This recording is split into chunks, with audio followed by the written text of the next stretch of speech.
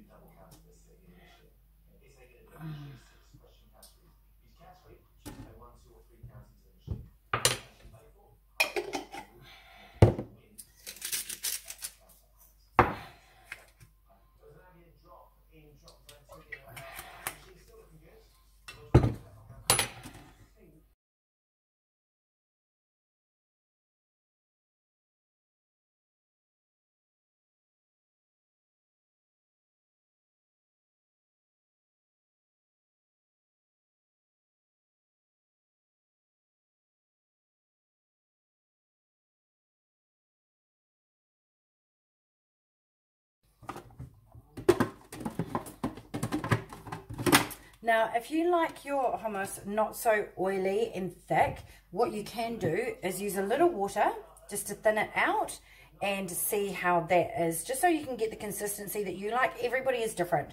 Not everybody likes the same taste.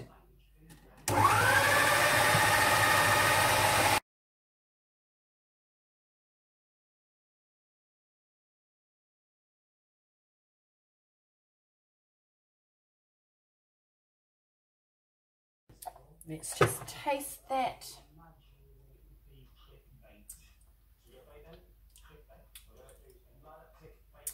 Mm, that's quite delicious actually.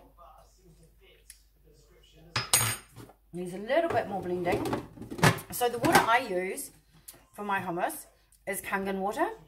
Um, I find it brings out the flavour more in things. Um, I used to use a lot more oil. However, with Kangen water, the flavours are just so delicious. I just use Kangen water to thin it out now.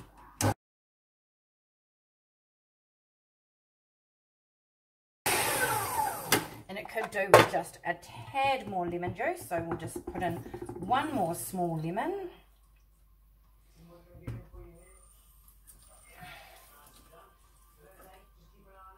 The garlic and salt are quite perfect. But you just do this to taste. So just keep trying things, changing things. Um, if it's too lemony, maybe water it down a bit or put some olive oil in it.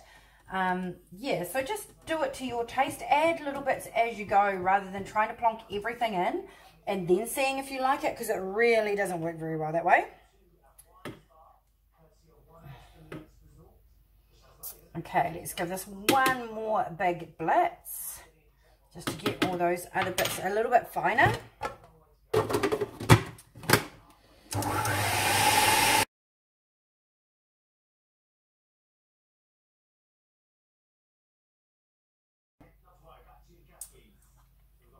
Oh, beautiful. That is absolutely beautiful.